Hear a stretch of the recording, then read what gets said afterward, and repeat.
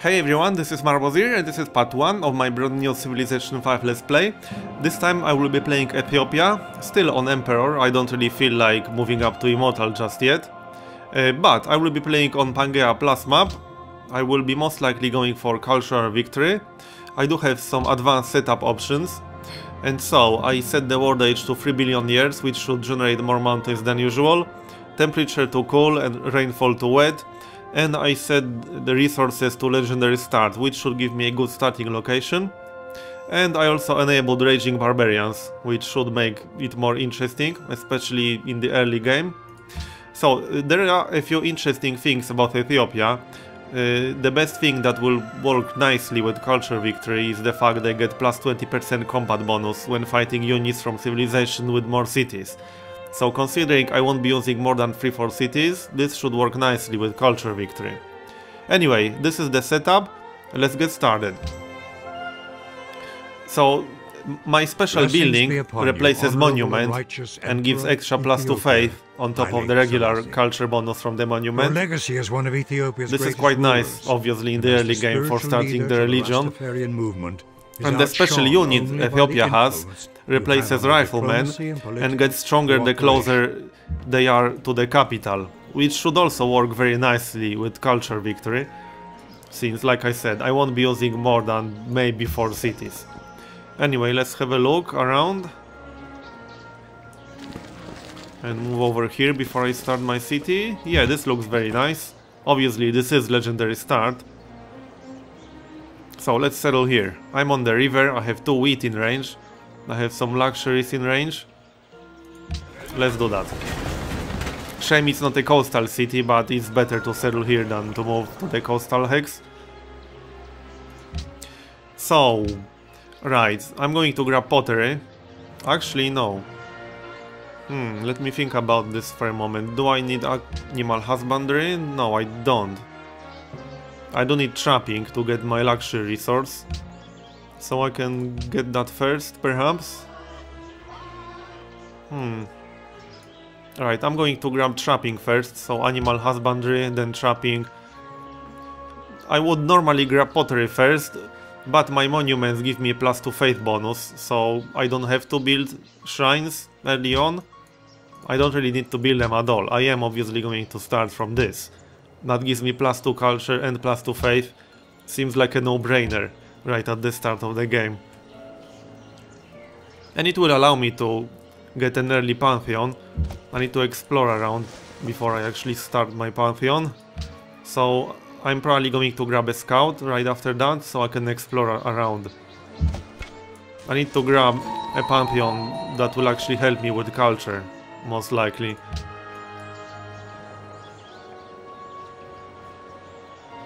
So like I mentioned when I was starting, I never actually did a culture victory game on Emperor before, so I have no idea how this game is going to progress.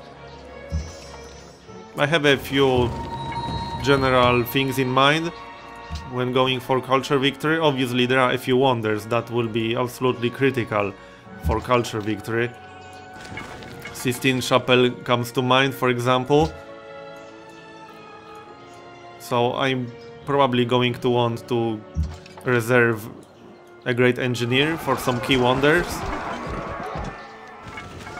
And I need to find really, really good locations for my cities. Since every single city uh, founded increases cost of culture, uh, of social policies. So that's counterproductive for culture victory, obviously. This is a standard size map, so I'll want to stay at 3 maybe 4 cities. And the first uh, social tree I'm going to go for uh, is tradition.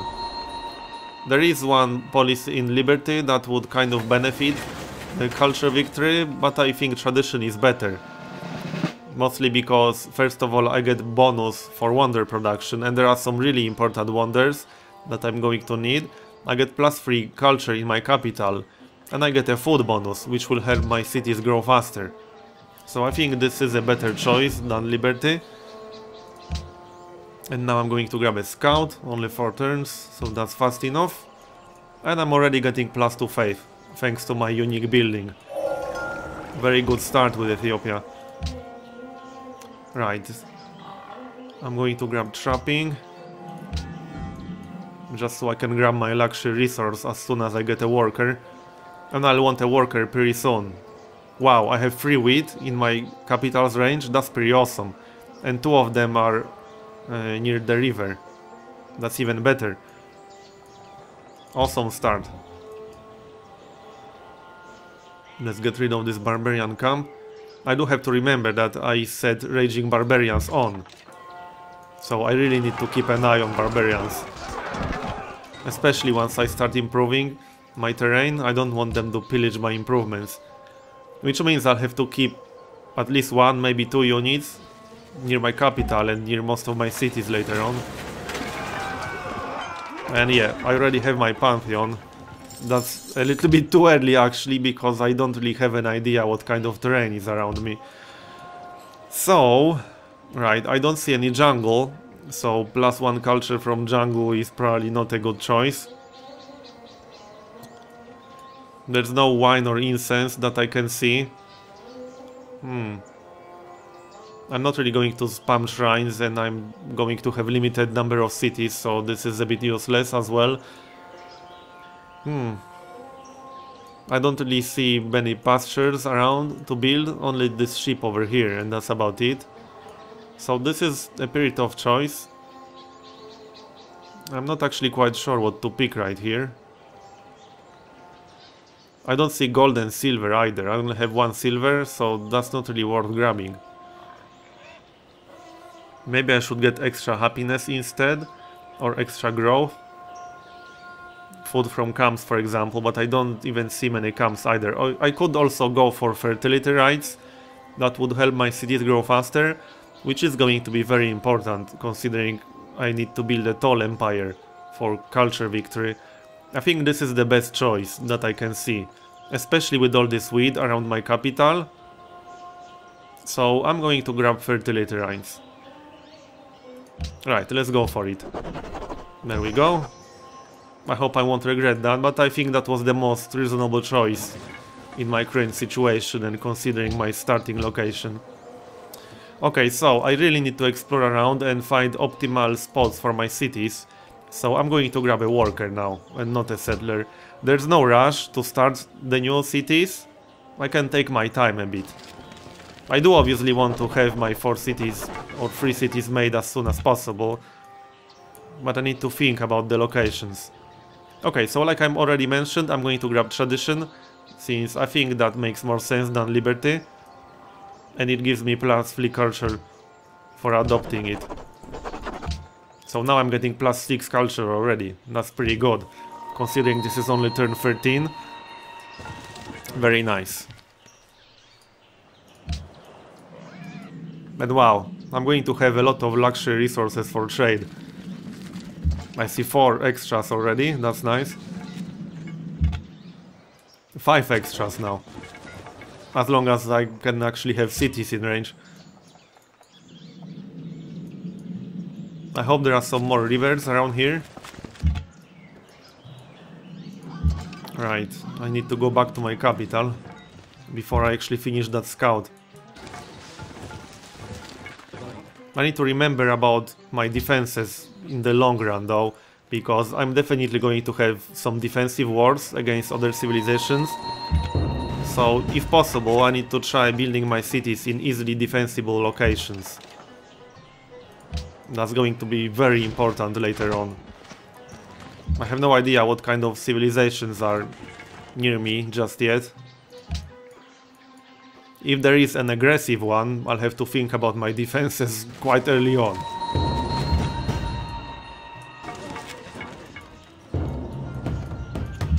I have a feeling I'm going to regret setting Raging Barbarians on. but hey, it will make it more exciting. At least I can fight something.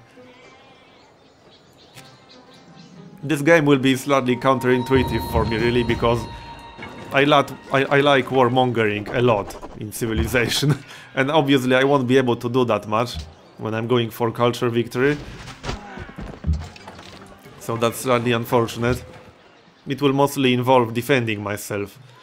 So, hmm, I don't think I'm going to grab wonders right away. So I'm going to go for landed elite as fast as I can. Which means I'm grabbing legalism first. It's also going to be nice before I start my second city. So my second city can have a free uh, culture building right from the start. And once I get the next one, like I said, I'm going to grab landed elite.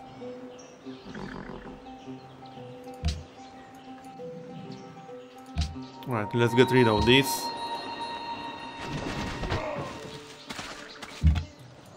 This one is about to go down.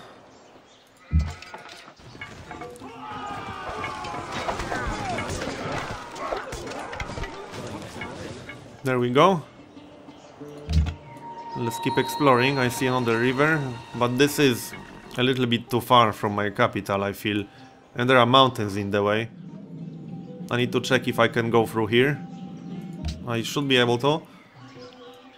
I'll need to find my second city location soon. Since I'll probably go for settler after this worker. Let's go this way. I kind of want to grab that silk. Now I need to heal myself a bit on this guy. I got quite lucky with that free promotion from the ruins.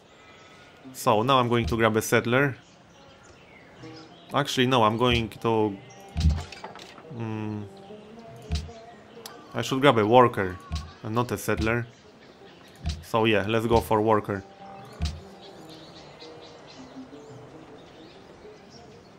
I'm about to finish chopping as well, and I can grab my first luxury. But technically I can't grab it right now because of the barbarians. I need to get rid of them. Can't really finish this guy off. Right, so I'm going to grab mining now, so I can get the silver near my capital.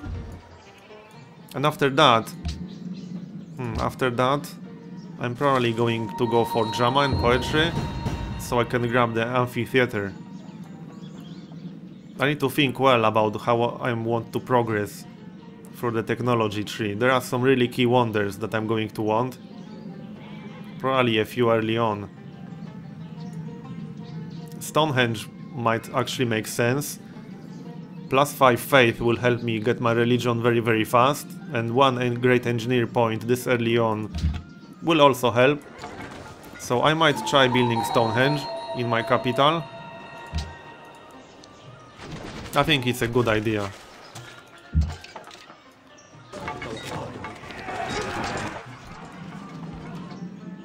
I should probably get rid of this barbarian camp, otherwise they will keep spawning over here. And I do think I'm going to start my second city somewhere here. I can grab two silk resources, there's wheat over here and the city can be on the river. And I can start it within two hexes of a mountain. Which would possibly be a location for Machu Picchu later on if I can get that. Although with so few cities, it will not be as good.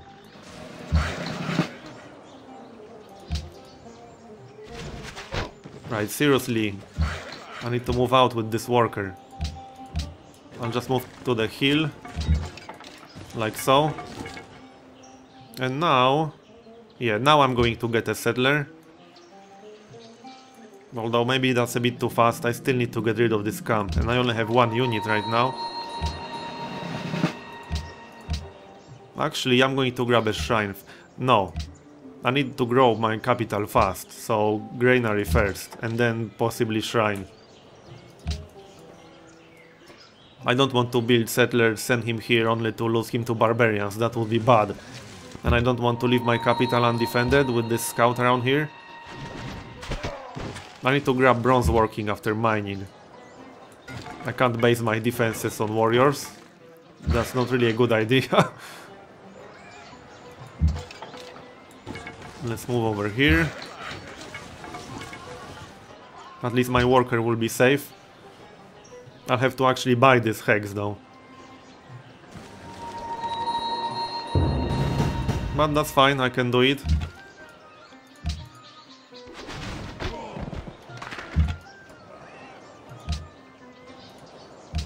I hope that won't be too expensive. 50 gold, yeah, that's not too bad. I can live with that. And let's improve it. I'm just going to fortify my spearman over there. If he attacks me through the river, he's going to have a bad time.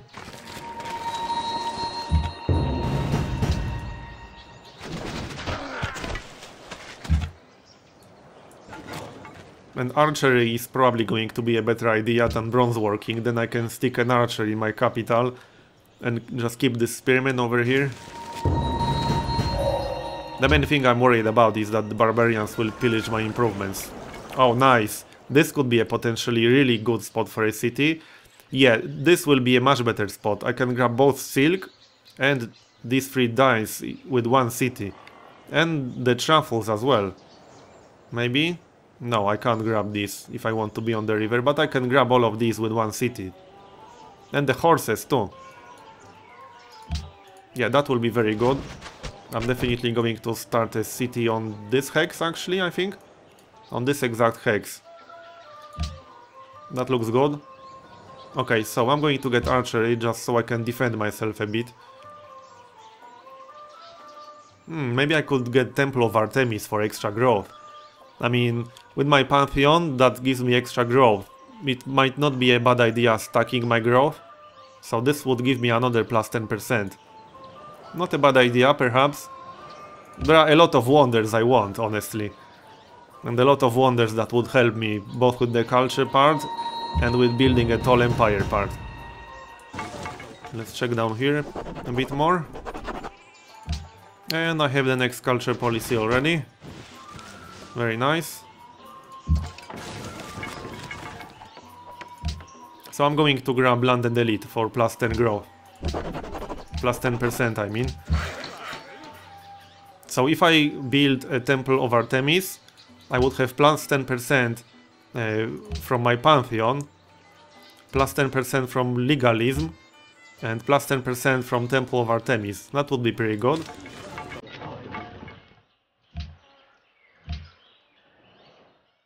But that also means I have to get uh, aristocracy next for the plus 15% bonus on wonders. Let's get rid of this guy. My capital will actually have some decent production. Shame there are only two hills in the range, three hills. But I do have silver. Yeah, I think it will be a pretty decent city production-wise. Could be better, but I'm not complaining. I will need at least one really high production city, so it would be good finding a location for the best production city around here.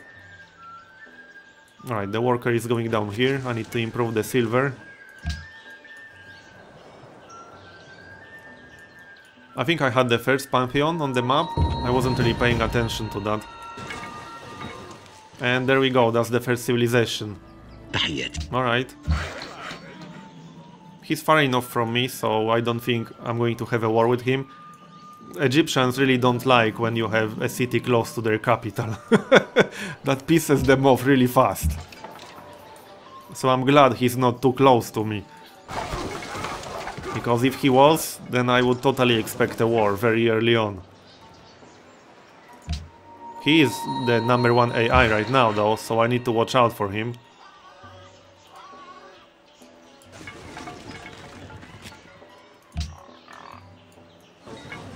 But it should be fairly easy to defend this territory. Let's find his capital then. And I'm about to finish a granary, so my capital should have some really nice growth. The question is now, should I try getting Temple of Artemis or not? Byzantines, oh, okay. I don't really like them. They often get very very strong in my games. And not just in the one I played on the channel. No barbarians so far? Oh yeah, I was going to get rid of this camp. But first I need to heal myself. So let's grab the shrine next, I suppose. Or a settler. Yeah, I should get a settler now, it's about time. Let's do that. And I am going to start a city on this exact hex that I'm pointing to right now. I think that's the best location that I can see in the area. There's a salt over here, might be good grabbing that as well, but I need to remember, I'll only have 4 cities total. Is that the Byzantine capital right here? I think it might be. So wow, that's very close to mine. I need to watch out for them. They are going to be a bigger threat than Egyptians if their capital is right here. And it probably is. since this is only turn 33. Okay, so let's see. I'm going to grab writing next. I think, do I need anything else for my actual improvements? Not right now, I don't. I'll need a plantation. Uh, I'll need calendar for plantations once I start this city down here. But that's not going to happen at least for a few more turns. So, I might still try to get the Stonehenge though. But first, I'll grab writing. So I can build the library. I don't like having Byzantines this close to me. I really don't like that. But nothing I can do about this. I'll just have to deal with it. I'll need some defenses though, especially once I start more cities.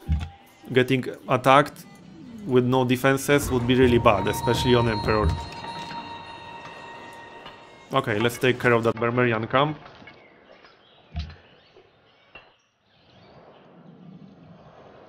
So far so good though. I'll have three luxury resources with two cities. So that's not bad. If I can find some extra luxuries to grab with my other cities, I'll be in a good shape. I know there's salt over here, but I don't really see any really good city location where I could grab it. So that is kind of a reserve location if I can't find anything better. I need to explore the coast a little bit more. There might be some luxury resources along among uh, along the coast. Some whales, crabs or anything like that.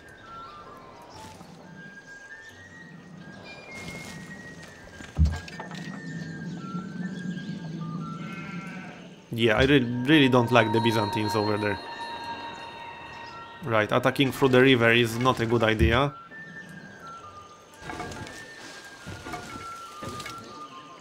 Writing is almost done. Maybe I should grab Great Library as well. Honestly, I would want all of these wonders. But I can't have them all at once. Hmm, I don't want to attack from here. I'm going to move to this hill and then attack from the hill. That seems to be the most reasonable option. This map is kind of interesting. Oh, so much for the Great Library. Ramses entered classical era already. Okay. So he's quite a bit ahead of me then. Well, he could just beeline to one of these technologies, I suppose. And here's another civilization. Alright. This one is quite far from me. And I'm about to finish my first settler. So like I said, I'm going to send him over here. This might piss off the Byzantines, if their capital is right here. But I'll just have to prepare for that. I do want to grab this location. It's a good spot, it has wheat, it has two different luxury resources, and I can grab horses as well, if I buy this tech. destroys So right now I don't see any better spot than that.